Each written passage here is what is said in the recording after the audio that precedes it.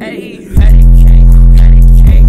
My wrist like patty cake. Just to like and follow me on Instagram, add me on Snapchat, all that extra good stuff. So yeah. Alright, so about mm, October, September 2017, I was working in a barber shop. One of the barbers that actually had left the shop told me, and he was like, yo, we need some people to audition at this place. Um, they just gotta take a picture of you, blah, blah, and that, that'll be it. All I did was take a picture, and I was like so confused. I just needed a picture. I, I didn't know what I was getting into. It just, it did not sound legit, you know what I'm saying?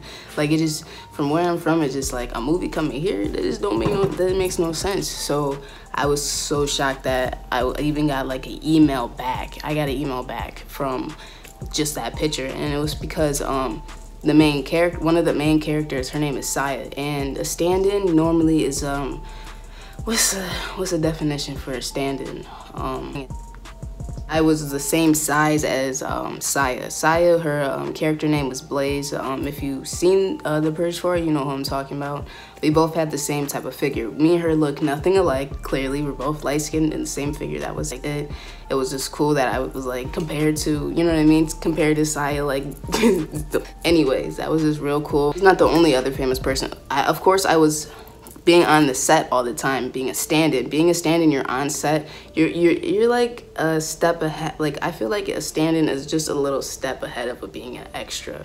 And I was both of them, and I got different pays for each day. Some days I was a stand-in, some days I was an extra, and some days I was shocked in how much I was making too at the time. It was just like taking me back. I'm like, whoa, wait, what? I just graduated. I'm just so confused. I'm every day working for 12 hours a day, and then being with celebrities. Like the first day I got there, I was so confused confused and then I, it started kicking into me and I, I was I'm a very very shy person so you know this movie stuff is definitely not for me. It'll, I don't think it'll be for me but I like the camera on me I like the attention I like being around the camera I just the whole idea was cool. I met a lot of people throughout doing that type of stuff. I, I didn't expect me to actually make a lot of friends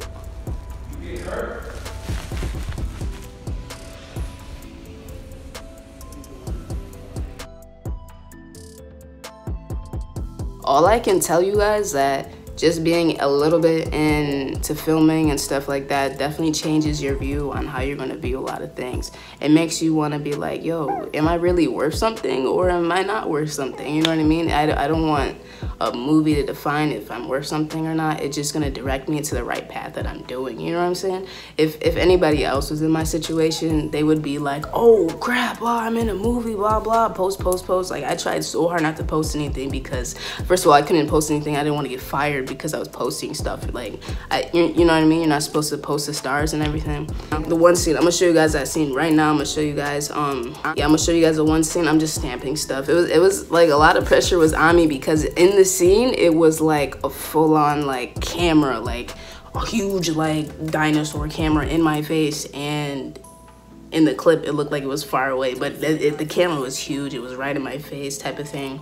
And a couple other scenes i seen of me they had me like i was going like this because it was cold like working 12 hour days in the freaking cold in buffalo new york in november is freezing. Like it was a rainy day and i was like going like i was just i was just oh and then they, of course in the scene they caught me going like that. So it was it was just done for that and then on a couple of the dance scene parts, I seen me, but you know, I was just in the crowd. It wasn't like I was really being like I was seen, you know what I mean? But it was still cool for the experience. Um, like even every day, I I had breakfast, lunch, dinner with these people. I was there from night to morning. Like I, uh, it started to become an everyday thing for a little bit. I met I met all the stars in this all the stars i was there i sat right next to them i was right there like they looked i like they were right there. My first time ever having i had no clue about this type of stuff so for me it's like a throw like it